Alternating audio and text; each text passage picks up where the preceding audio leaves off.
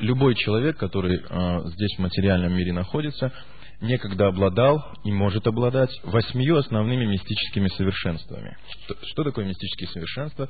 Это, ну, как мы говорим, сенсорные, экстрасенсорные совершенства. Гипноз, телепатия, знать прошлое, настоящее, будущее. Есть разные всевозможные качества. Вы знаете, да, там по предмету можно узнать о человеке всю его судьбу, да, по фотографии что-то его вылечить или наоборот его убить. Есть разные очень всевозможные способности, и все это реальность, а они действуют, если кто-то знаком, что сейчас в Соединенных Штатах Америки Америки рассматривают такой проект закона об астральном преступлении. То есть в уголовном порядке будут наказываться люди, которые заказывают киллеров астральных. То есть можно на самом деле на астральном плане убить любое живое существо. И поскольку люди лишенные этого знания, даже что есть другие проекции, другие миры, и через них можно воздействовать, то они даже не знали, что вот человек умирает, и что его просто можно было убить. На астральном плане киллер заказывается, платятся деньги, на астральном плане приходит, во сне человека убивают, он умирает. Никакого состава преступления на материальном уровне. Просто человеку сердце остановилось во сне. Все. И американцы в своих научных исследованиях полностью это подтвердили. И более того, что даже уголовный кодекс они решили вести статью за это. И есть специалисты, которые разбираются в этом, как найти этих людей. Они тоже должны обладать этими определенными способностями. Итак, есть 8 основных мистических совершенств, 12 мистических совершенств подчиненных, и таким образом существует около 94 мистических совершенств. Откуда их такое разнообразие? И все они являются нейтральными, добродетельными или негативными. И если мы набираем все, то их 94. 94 мистических совершенства имеют демоны. Они обладают всеми. Но они не употребляют никогда эти совершенства на благо. Они только всегда во вред их употребляют. Поэтому они используют эти тоже мистические способности для причинения вреда. То есть они являются олицетворением зла здесь, в материальном мире. А суры, полубоги, они являются олицетворением добра. И между ними происходит вечная война между сурами и асурами. Асур на санскрите означает материалист. Вот как неудивительно. Асур это и есть демон. Безбожник это основное качество асура. И он пытается достигнуть всяких совершенств мистических, не принимая Бога. Это асурическая природа. Итак, восемь основных мистических совершенств. На санскрите мистические силы называются вот эти сенсорные способности ситхи. Вот есть такой народ кельты, если кто-то слышал, и вот в кельтском фольклоре у них очень много вот этих необычных живых существ, которые обладают какими-то совершенствами, они тоже называются у них ситхия. ситхия. То есть живые существа, обладающие определенной необычной сенсорной способностью. Итак, анима ситха. Анима это значит становиться мельче мельчайшего. То есть возможность стать маленьким. Такое качество называется масштабирование. То есть человек может изменять свои масштабы при определенном процессе. Это анима ситха. То есть человек может стать маленьким, мельче, мельче, то есть уменьшиться до размеров атома. И каждый человек когда-то он владел этими способностями. Вот от этого у нас есть такое чувство, вот вы наверняка замечали в детстве, ух, сейчас бы так маленьким стать, раз пролезть. Если у человека нет этих способностей в прошлом, или они не заложены в нем, то он не может даже так подумать, я бы сейчас стал маленьким и прошел. То есть даже вот этот импульс, который позволяет нам думать о том, что мы можем стать маленькими, это подсознательный опыт. То есть душа имеет всегда память. И в виде подсознания эта память вырывается, но тело уже не то, другое, оно лишено уже этих способностей, поэтому только в памяти остается желание. Желание действовать так, но мы не можем так действовать. Как человек без ноги говорит, ох, сейчас бы побежать, но он на тележке, и это остается просто его желанием. Но когда-то он бегал, он не сразу родился без ног. Способность утеряна, но желание так действовать остается. Поэтому все эти желания, наши детские желания особенно, они описываются в ведической литературе, что человек особенно до пяти лет, он полностью помнит все свои прошлые ситхи. И вот когда дети, вы наверняка наблюдали, они говорят о своих каких-то прошлых. Вот я вот был том, я там кошечка, я собачка. И родитель говорит, ну-ка замолчи, там ты что. На самом деле ведическая литература описывает это, что ребенок до пяти лет в среднем помнит, по крайней мере, пять, шесть, но три-то последних жизни он помнит точно. Кем он был, что он даже иногда называет имена и все остальное. И он действует еще в прошлом. Через пять лет маховик его кармы приходит в очень серьезное состояние, грубое, и он обуславливается. То есть все, он уже новый человек. Лакхима ситха. Лакхима ситха – это значит стать легче пера или стать легче воздух. Э, возможность э, левитации, знаете, да, антигравитации, то есть подниматься, летать, там, ходить по воде и все остальное. Вот Христос там по воде ходил, это лакхима ситхи. То есть определенные способности, которые дают возможность изменить гравитационные поля тела. Прапти ситха – это достать все, что угодно, откуда угодно. Прапти ситхи – это когда человек может, ну, сейчас люди не понимают, что это такое э, материализация предметов. Да? Вот, допустим, раз человек, и в руке у него появляется какой-то предмет. Но он его достает путем этих прапти ситхи через эфир, через определенные эфирные каналы в другом месте. То есть он исчезает предмет в одном месте и появляется в его руке. Но если вы не знаете, что это такое, вы будете думать, что это он создал этот предмет. Он его не создает. Это прапти ситхи. Махима ситхи – это стать тяжелее тяжелого. Последнее упоминание о таких способностях был такой Гаичи Тахей, один из мастеров боевого искусства. Я, насколько помню, в 85 году он покинул тело. Он как раз демонстрировал публично на телевидении эти способности. Его вес был 52 килограмма, он мог прямо стоя на весах утяжелиться до 300 килограмм и облегчиться до 15 прямо на весах. И люди, когда он становился 300 килограммом, люди не могли его сдвинуть. Его поднимали, еле-еле, ставили на весы 300 килограммов. Но тело его не менялось. То есть это вот а, называется стать тяжелее тяжелого. Махима ситхи. И шитва ситхи. Создать что-нибудь или уничтожить что-нибудь по своему желанию. Когда вы можете создавать предметы и переводить их в разрушенное состояние. То есть не надо прикасаться ни к чему.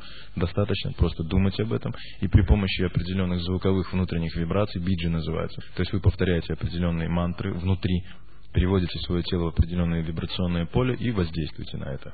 Определенные вибрации связаны с звуком. Тонкие звуки и грубые звуки.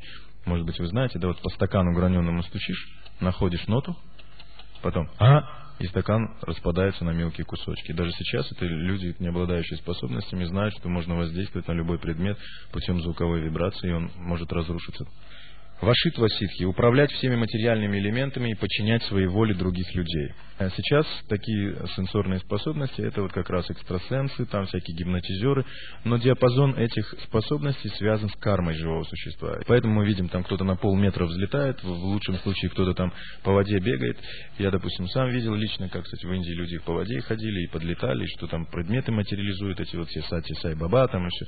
Это на самом деле все считается угасшими способностями прошлой деятельности, то есть деградировавшими способностями. Что же говорить о тех людях, которые не могут, как вот Христос говорит в Библии, о чем говорить с вами, когда даже на локоть вырасти не можете? Дальше, вашит васитхи, это управлять всеми материальными элементами и подчинять своей воле других. Возможность исполнить любое свое материальное желание или магия. То есть вот есть черная магия, белая магия, это вашит васитхи. Дальше есть прокамия ситхи, возможность исполнять любые желания других живых существ, материальные желания.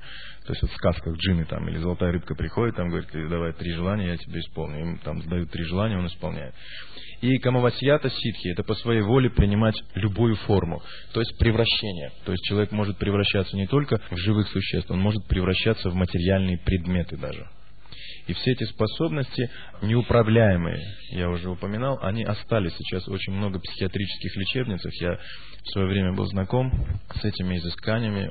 Я могу даже вам называть этих врачей, докторов э, медицинских наук, академиков, которые имеют подтверждение, они имеют это описание, когда они сами не знают, что с ними происходит. Они могут превращаться в разные то есть неуправляемые остатки этих способностей остались.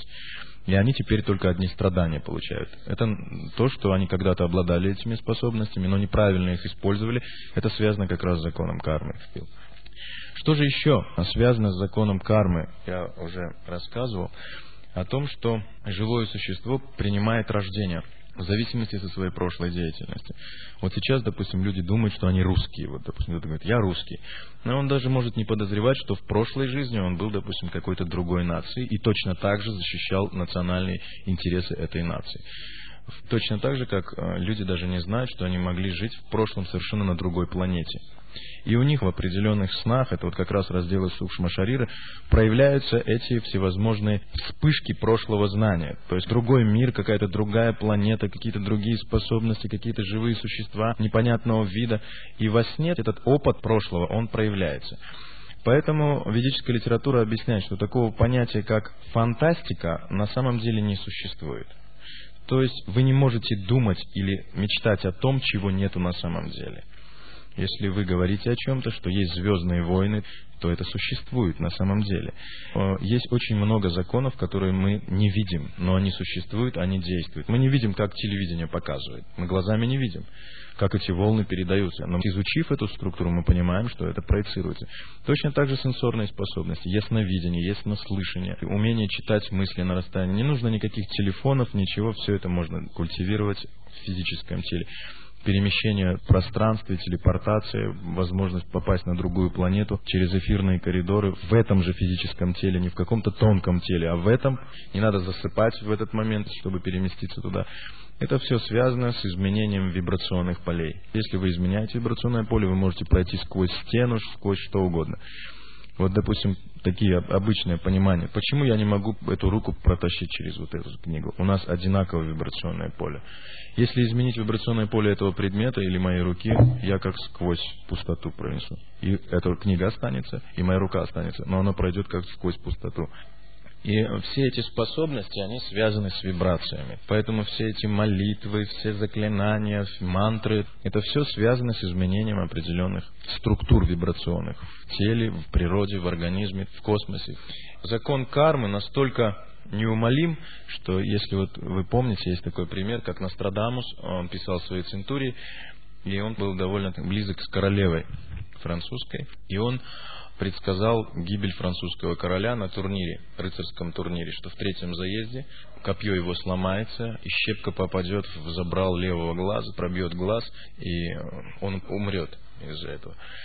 И он предсказал это, и он сказал об этом королеве. И королева, она своему мужу сказала о том, что вот Нострадамус, Мишель Нотр-Дам предсказал эти вещи. И король, он смеялся, он сказал, после этого турнира он сам умрет. И первый заезд, второй заезд, и королева предупредила, что есть такое предсказание. Нострадамус знал, конечно, что так произойдет, но король не верил, люди не верили. Уже даже в те времена люди не верили. Что говорить о нынешних временах? Люди не верят, что можно рассчитать, где они споткнутся полностью, где кто им стукнет, где кирпич упадет, где подбросишь, упадет именно на этого человека. И так в третьем заезде он выбросил эту центурию, то есть там она дала ему эти стихи, он прочитал еще раз, выкинул и сказал Нострадамусу, после этого турнира ты погибнешь, я тебе говорю, я тебя уничтожу. И так получилось, что копье сломалось, щепка отлетела, попала в забрал, в глаз в левый, и он умер. Так популярность Нострадамуса мгновенно возросла в сто тысяч раз, стали прислушиваться к его всем этим вычислениям, его предсказаниям. А, то есть мы видим, даже в нашу эпоху существуют люди, обладающие этими сенсорными способностями. Это качество называется триколагия на санскрите. Видеть прошлое, настоящее и будущее. Это определенная сенсорная способность, связанная с кармой живого существа с его благочестивой, естественно, деятельностью. А Нострадамус очень благочестивая личность. И это лишь остатки тех способностей, которыми владел он в прошлой эпохе. По мере деградации все время уменьшаются эти способности, и у людей происходят разные проблемы. Еще вопросы вот связанные с богатством. Очень много интересуются людей, почему они бедные. Это связано тоже с кармой живого существа. Не с его образованием там каким-то, с его кармой. Поэтому мы видим очень много докторов наук, которые себе брюки не могут купить. И видим людей, которые пишут с ошибками, и они ездят на джипах и все остальное. Есть такой раздел в ведической литературе, который описывает, каким образом это происходит. За благочестивые поступки человек получает четыре основных результата деятельности, на какие он медитирует. Что такое благочестивые поступки? Это пожертвование. Вот, допустим, альтруизм, филантропия, меценатство, там старушку через дорогу перевел, кому-то помог, просто помог от чистого сердца, без всякой корысти. Это благочестивая деятельность. То есть вы не думаете о том, что вы за это что-то должны получить. Вы просто делаете, понимая, что это надо делать. Это благочестивая деятельность. И вы не делаете так, вот я тебе сейчас даю, чтобы мне потом дали больше. Нет, это страсть, называется пожертвование в страсти, то есть результат немного другой будет. И вот эти люди, они могут получить первое красивое тело. То есть, если мы видим красивого человека, это следствие его благочестивой деятельности в прошлом. Некрасивая внешность – это следствие греховных поступков. Второй аспект, который существует в этом же, в первом аспекте, второй его уровень – это здоровье. То есть человек, совершающий благочестивые поступки, он получает хорошее здоровье. То есть он может быть и красив, и здоров. Или может быть не очень красив, но у него очень отменное здоровье. Это результат кармы, то есть благочестивой деятельности. Другой аспект – удачливость в бизнесе.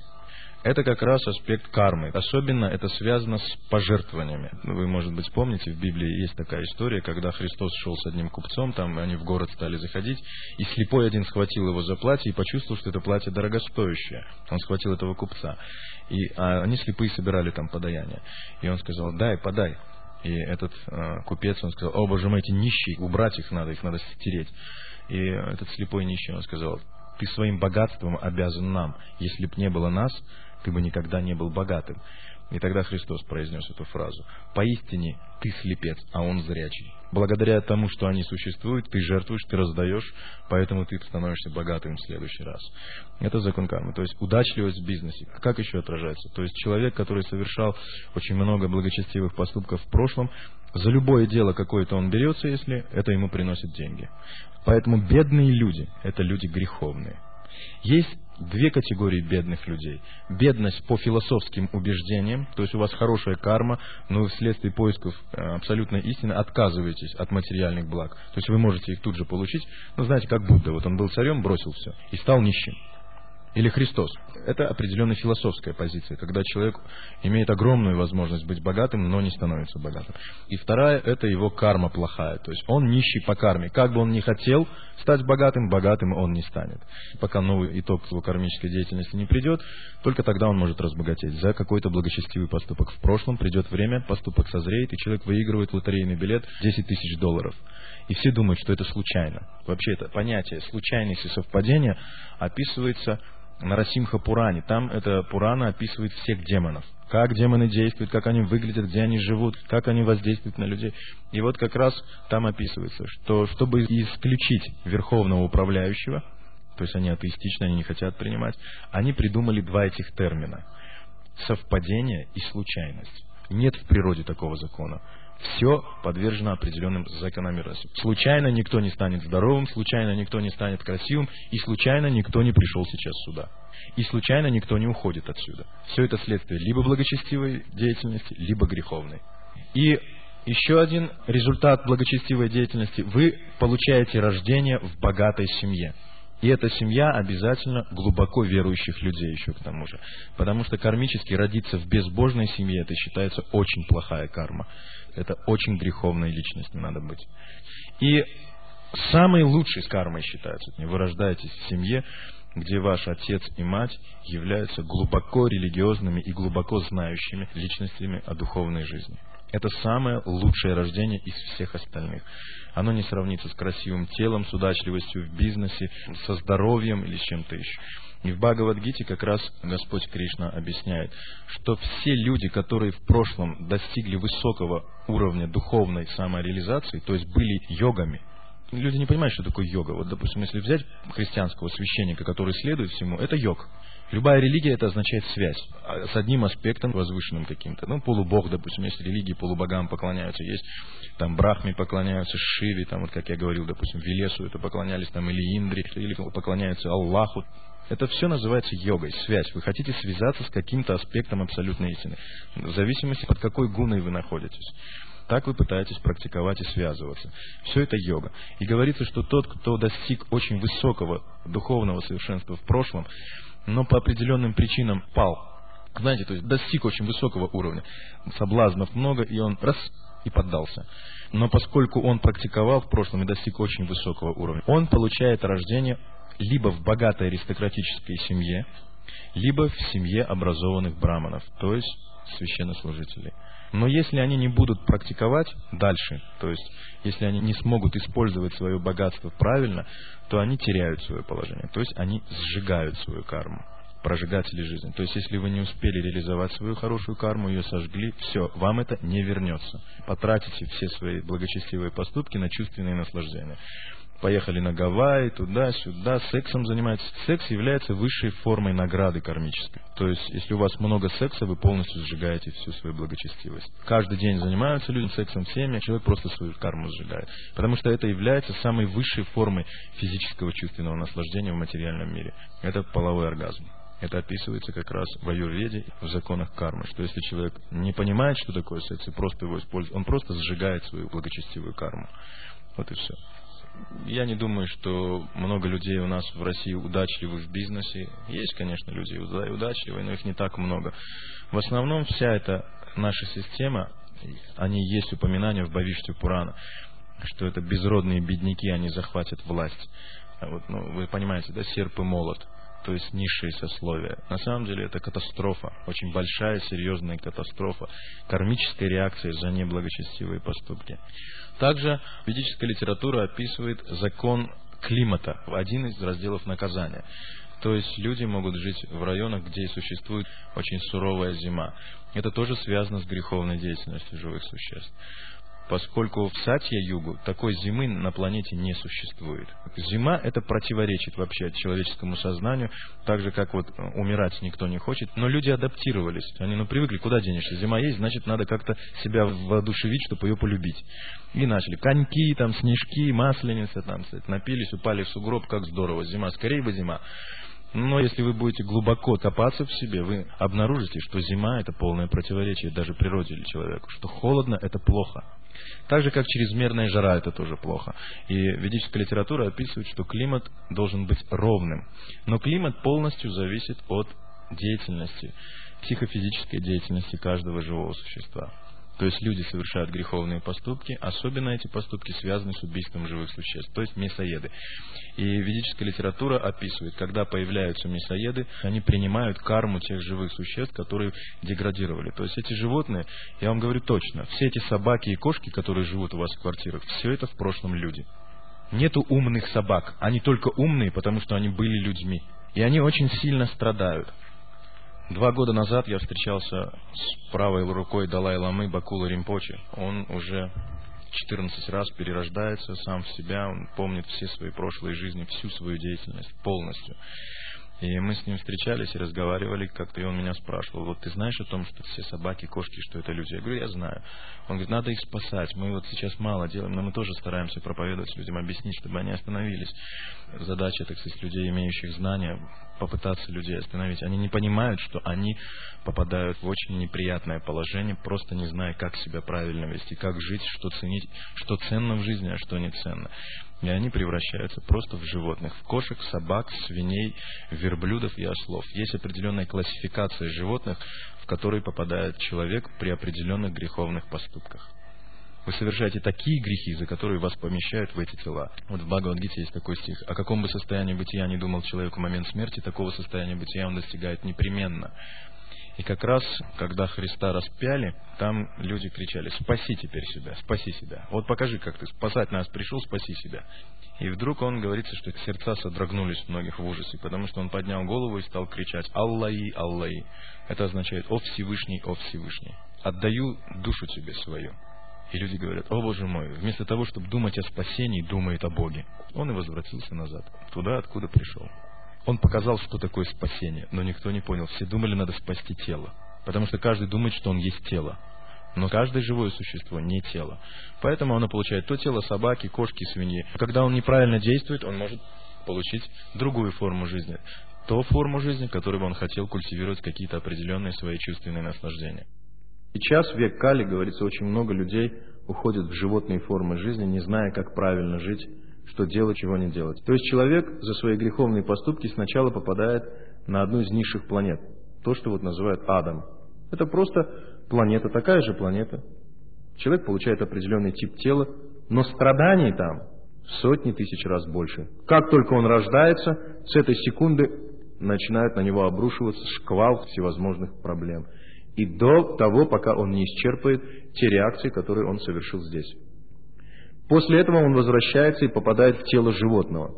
Все животные фрагментарно помнят свои человеческие жизни. Поэтому вот видно, что собака, допустим, вдруг как задумается что-то там, или вот как люди говорят, глаза смотрят, как человек, вроде понимает, сказать не может. А ведическая литература описывает, что животные, они фрагментарно вспоминают свою человеческую, они могут увидеть людей, тех, с которыми они будут, вдруг на кого-то напасть или наоборот кому-то ластиться они а, в соответствии с законом кармы могут попадать в те семьи, в которых они жили, как, допустим, дедушка, бабушка, там, сын, отец, который а, рано, так сказать, умер там, или что-то с ним случилось. Вот в моей практике был такой пример. Один человек, он был таким ну, обычным человеком советским, работал в депо, он был мясоедом и охотником. И когда он напивался, он гонял всю свою семью с топором там, ну, никого не убивал, но любил погонять, мебель там разломать, что-нибудь такое, матом крылся. И он ходил всегда на охоту, он любил свежее мясо. Покупал лицензии, копил деньги, ходил на охоту, отстреливал. И вот как-то он подстрелил оленя. Приехал домой, и он с водочкой любил свеженинки. И он стал пить, и он подавился мясом. У него была спаниель, и он всегда, когда напивался, со спаниелью общался. Знаете, вот как многие люди с собаками разговаривают, обнимаются, спят с ними. Это очень плохо. Энергетически это просто полное невежество. Веды категорически запрещают это. Собака ни в коем случае не должна быть в месте, где вы спите. Собака не должна быть в месте, где вы особенно питаетесь, то есть кухня. Эти животные являются самыми основными проводниками духов и привидений. Сейчас век Кали никто ничего не знает. С собаками прямо общаются, лучшие друзья собаки. И вот этот человек, когда он подавился мясом, он с собакой с этой попытался разговаривать, задыхаясь, пытался что-то ей сказать. А собака возле него бегала, крутилась. Я тогда служил в Дацане, и эти люди, они поскольку знакомые, они обратились ко мне, ну, какой-то обряд провести, там, ритуал. То есть они так, они, в общем-то, мало во что верили, но так, застраховаться. Знаете, как люди сейчас вот тоже мало верят в Бога, но они придут в церковь, там, свечку поставят, молитву какую-то там закажут. Так, на всякий пожарный. И они мне рассказали, я спросил, как он умер. А я знал этого человека лично. И как человек умирает, можно определить, кем он будет в следующей жизни, если это наука. И по тем параметрам было понятно, что он станет собакой. Сто процентов. И не просто собака, а именно спаниелью станет. Но людям современным, даже сейчас я бы кому-то это сказал, в лучшем случае человек смеется. я не стал им этого говорить. У этого человека была внучка. Я сказал внучке, что твой дедушка вернется к тебе через год собачонкой. Она сказала, как? Я говорю, ну тебе подарят или купят. И этот человек, он всегда любил носить муштук во рту. И у него была медаль, ветеран труда. Знаете, такая медаль есть? И он всегда ее мусолил в руках. Всегда он с этой медалью был. И если вы тронете его медаль, это был целый скандал. Две вещи он ценил. Свой муштук и медаль. Очень сильные привычки у него были. Вот этот муштук в зубах носить постоянно. Там с папиросой или без. И эта медаль. Либо на груди, либо в руках. Никогда его без медали, без, без муштука. Хоть пьяный, хоть он спал, медаль держал. И муштук. Вытащите, он проснется в любом состоянии. Отберите медаль, будет шум, крик. И ровно через год эта девочка, она забыла даже об этом. И когда ей исполнилось 13 лет, через год ей на день рождения подарили маленькую черную спанель. Дети, они более чувствительны к этому. И она позвонила и сказала, вот мне подарили спанель. Я говорю, ну вот теперь береги этот дедушка. Нормальный человек, вот вы, вы смеетесь, нормальный человек тоже. Поэтому я не говорил это. Потому что любые люди, конечно, говорят, чушь. Что он такой болтает? Дедушка. Наш дедушка там, ну, в лучшем случае, архангелом стал. Такой хороший, настоящий был человек. Работал честно, то есть честно, ел мясо, матерился, гонялся их топором. Любил собак. И эта девочка, когда я к ним приходил посмотреть, она говорила, а как вот узнать? Вот я-то верю, она говорит, ну а как узнать-то? Я говорю, ну посмотри, приглядись внимательно. Когда дед умер, никто не мог найти муштук и медаль. Этот собачонок нашел муштук, засунул себе в рот, только когда ел, он его ложил возле себя и ел. И если попробуйте только прикоснуться, даже потянуться к этому муштуку, маленький собачонок, который там еле шевелится, он вас начинал кусать, нападать на вас. Через два месяца эта собачонка нашла медаль эту. Охраняет медаль и все время в зубах муштук. Вот если бы этот человек жил с вами, для вас даже этого было бы достаточно, чтобы вы поняли, что это он. А девочка сразу. И она очень долго плакала. Потом она более серьезнее стала наблюдать и видела, как он проявляет даже взаимоотношения, те же самые, которые были в семье. К своей жене, там, к своей дочери, к ней. Кого-то подпускал. Знакомых он четко воспринимал, точно так же, как дед. Вот кого он ругал, он на тех нападал, этот щенок. Но кроме этой девочки, поскольку я-то только ей это объяснял, и она за этим наблюдала, никто ни дочь, ни жена, никто этого не замечал. И я просил эту девочку, что ты, пожалуйста, не говори об этом, поскольку у них будут большие проблемы. Но девочка не выдержала и сказала это бабушке. Бабушка, естественно, сначала хохотала очень долго.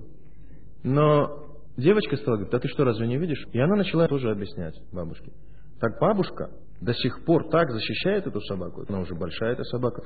Бабушка теперь с ним разговаривает, как с дедушкой, оберегает, он не ходит нигде, ничего не сторожит, все условия созданы, как дедушки.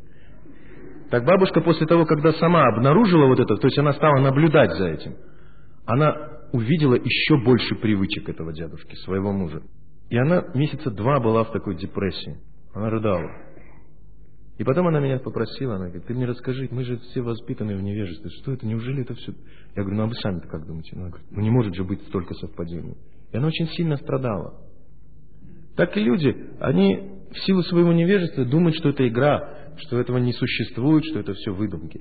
Все это работает идеально. И люди получают в зависимости со своей деятельностью разные виды тел. Поэтому ведическая литература говорит, чтобы получить человеческую форму тела, нужно очень много сделать. То есть нужно пройти очень много этапов. И также очень легко потерять человеческую форму тела в силу своего невежества. То есть не зная, как ее даже сохранить. Эта собака, естественно, вернется опять, вот сейчас что-то с ней случится, что-то, она станет опять человеком. Если он опять неправильно использует потенциал человеческой формы жизни, и ведическая литература объясняет, человеческая форма жизни предназначена лишь для одной цели – для духовной науки. Если живое существо не использует свою человеческую форму тела в духовном прогрессе, оно всегда находится в опасном положении, может потерять или ухудшить свое положение. Итак, живое существо, не имея знания, постоянно ухудшает свое положение. Вот вы видели, много есть людей, которые маленькие, худенькие, но у них амбиции, как у великанов. Как вы думаете, почему? Они были сильными и огромного роста.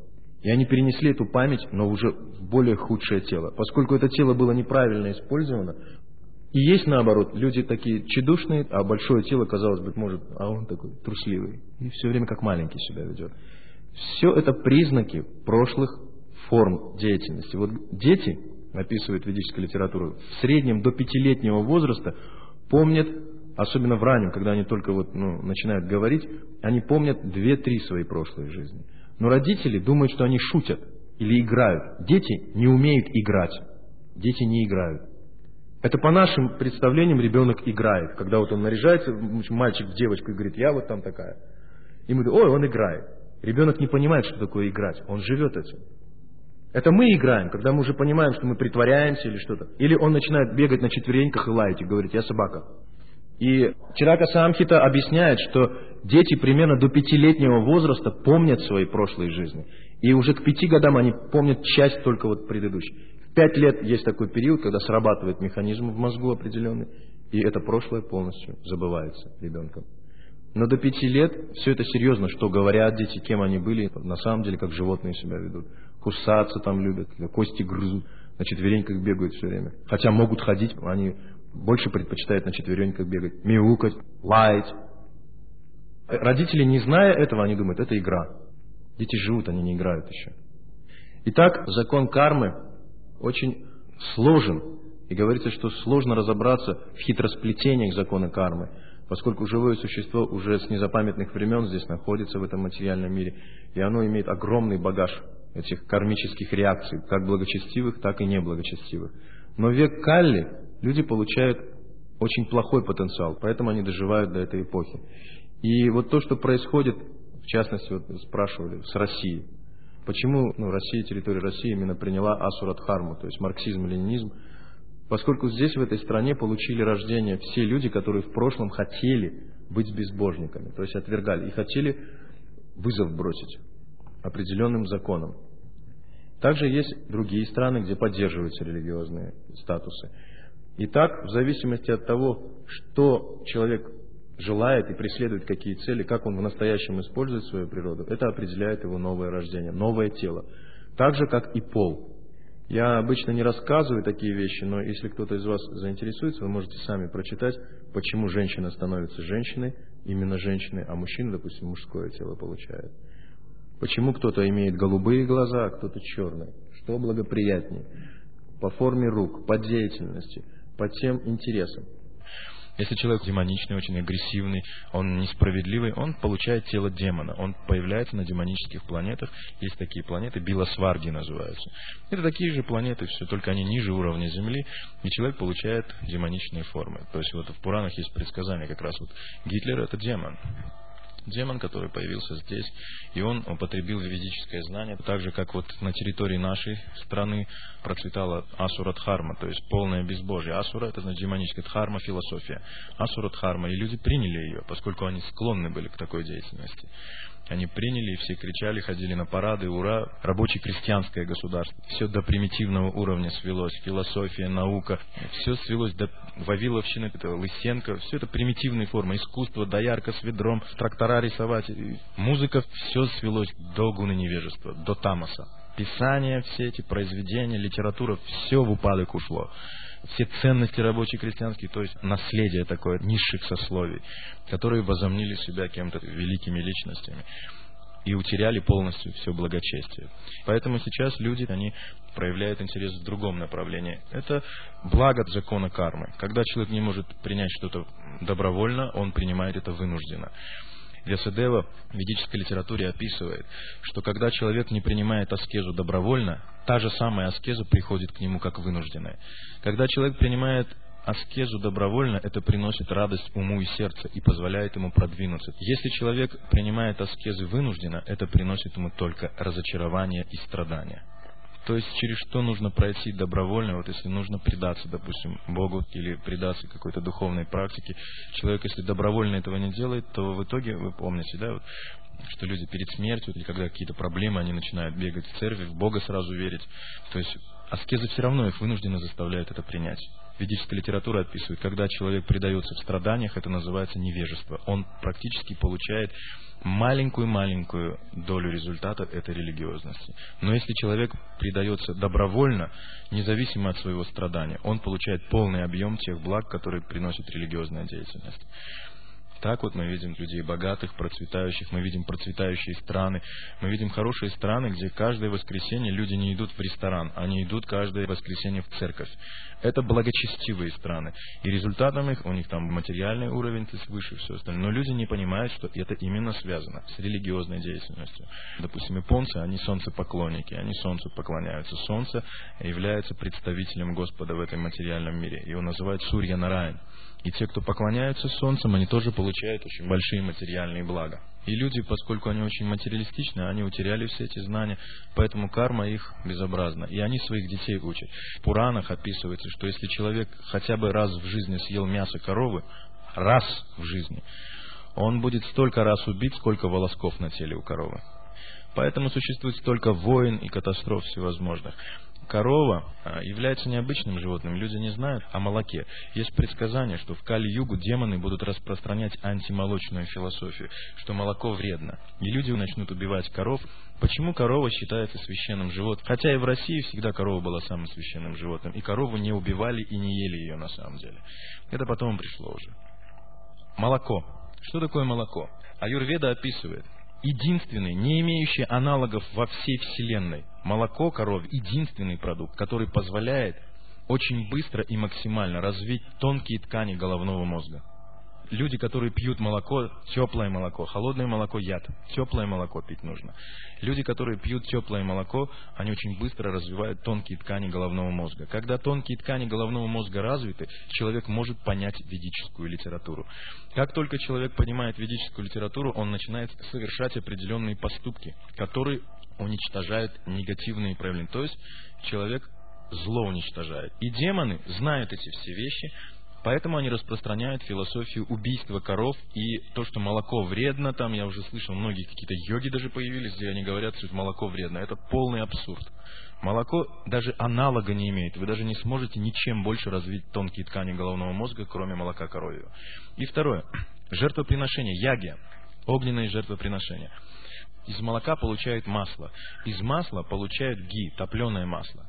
Топленое масло, если при определенных мантрах, при определенных звуках возливать в огонь, это делали браманы, жрецы, то благодаря этому возливанию масла в огонь можно полностью изменить материальную жизнь любой планеты. То есть вы можете достигнуть любого материального и духовного благополучия, совершая вот эти жертвоприношения, возливания, ги в огонь. И это описывается в ведической литературе. По-другому никак человек материального блага не может достигнуть. Даже демоны возливают масло в огонь, но они делают это с демоническими желания. Поэтому корова всегда защищалась, потому что именно она была носителем этих продуктов. И э, ведическая литература говорит, когда человек исчерпал всю благочестивость, нажитую в прошлом, для него вот эти истории кажутся полным абсурдом. Но те, кто сохранил благочестивость и даже развил ее, они принимают это знание, поскольку у них есть способность. Больше благочестивости, более высокое знание может принять. Меньше благочестивости, он примитивен. Вот он до марксистско-ленинской философии только достигает, и он думает, что это верх совершенства. Хотя ведическая литература описывает это как самую разрушающую философию Кали-юги. И есть определенные личности, их имена, как они этого Ленина запустили. И э, говорится, что Карл Маркс, он вызов бросил именно Христу. Есть дневники личного врача Карла Маркса, и эти дневники хранятся в Западной Германии. Многие люди знают, здесь ничего не знают. Он приходил в церковь и плевал в это распятие и говорил, я бросаю тебе вызов. Он кричал публично это. Это демоничные живые существа, они приходят дать определенную философию. И в конце жизни он описывает, этот врач, что он полностью принял Бога. И он молился и просил прощения, так же, как и Энгельс. Я очень часто смотрю программу «Время», и там после программы «Время» была такая передача, как раз россияне обсуждали исключительную меру наказания, расстрел. То есть сохранить смертную казнь или не сохранить. Вот этот фильм назывался «Шестой коридор Бутырки». В шестом коридоре Бутырской тюрьмы сидят личности, которые приговорены решением суда к исключительной мере наказания расстрелу. Репортеры, они приходят в эти камеры, и когда открывают, первое, что поражает, почему я вам рассказываю, меня почему заинтересовала эта программа, их камеры – это кельи. Все в образах, у них иконы, у них горит лампада, и все книги от пола до потолка, только религиозные. То есть они глубоко религиозные люди вдруг стали. И там ведут разговор. Вот смертная казнь, вот как, ну, да, мы подали там кассацию, апелляцию, мы ждем. Их спрашивают, что это такое, вы что, религиозный человек? Он говорит, да нет, я вот, допустим, там, ну, доктор наук физико-математических, я работал в одном научно-исследовательском институте, и мы стали зарубежным спецслужбам давать определенную секретную информацию, они давали нам деньги, мы не поделили эти деньги, я убил своих соратников, но сделал, так сказать, не очень аккуратно, в общем, меня приговорили как, а вот религия, вы знаете, я только здесь понимаю, что Бог есть. Я только здесь это ощущаю, что на самом деле Бог есть. Потом в другую камеру заходит какой-то офицер. Они в свете этой конверсии начали торговать тем, чем не надо. Тоже, опять же, деньги, и он перестрелял там всех своих компаньонов. Тоже приговорен к исключительной мере наказания. Тоже монах прямо. Все они монахи. И если вы возьмете даже фильмы такие, где это все Чикатило, где все эти маньяки-убийцы, все они молятся Иисусу Христу в камерах. Все они. И суть-то вот в чем. Там шесть личностей показали, в шесть камер зашли, все они были глубоко религиозными людьми. И когда этого офицера спросили, что вы хотите сказать, вот если вас сейчас будут видеть, программа это «Человек и закон», и он сказал, люди, есть Бог. Те репортеры, они сказали, все? Он сказал, все. А вы, вы не жалеете, что вы сюда попали? Вот он говорит, нет. Я только жалею, что я никогда не верил в Бога. Если бы я был религиозной личностью, то я бы сюда никогда не попал, он сказал. Человеку рано или поздно приходится разочаровываться во всем и искать Бога, и они его находят. Но закон кармы гласит, что когда человека подтолкнуло э, наказание очень суровое принять Бога, этот человек вследствие того, что он все-таки принял Бога, этот человек вследствие этого поступка получает такой аспект кармический – богобоязненность. И все. То есть он в следующей жизни подсознательно будет бояться совершать какие-то поступки. Такой случай, как один из духовных учителей, он шел по рынку со своим учеником, и в Индии там очень плохо к ворам относятся, их побивают. Если человек что-то украл, неважно, что вы украли, если вы немножко хоть что-то там схватили с прилавка, там бьют. И на каждом рынке существует такой рыночный судья. То есть вам могут руку там отрубить или что-то еще. Это даже в Китае сейчас до сих пор это есть. Они там могут руку отрубить и вывесить ее, чтобы все воры, так сказать, видели это. И этот вор, он стал бежать, и один из учеников этого духовного учителя подставил ему подножку, и тот упал, его поймали, этого вора. И духовный учитель был очень недоволен этим. И он сказал, почему ты сделал? Он сказал, фу, этот вор, паршивец такой, негодяй. И он сказал, разве я вас этому учу? Вы так и не поняли закона кармы. Каждый убийца имеет будущее, а каждый святой имел прошлое. Наша задача остановить его знанием, дать ему знание, почему так нельзя делать. Наказание дает только просто аспект страха. Но страхом ничего не решается. Страх – это самая высшая форма проявления невежества. Даже страх перед наказанием Божьим – это проявление невежества. А невежество – это следствие греховной деятельности в прошлом, карма. Таков вкратце закон кармы. И сейчас я хотел бы ответить на ваши вопросы. Спасибо.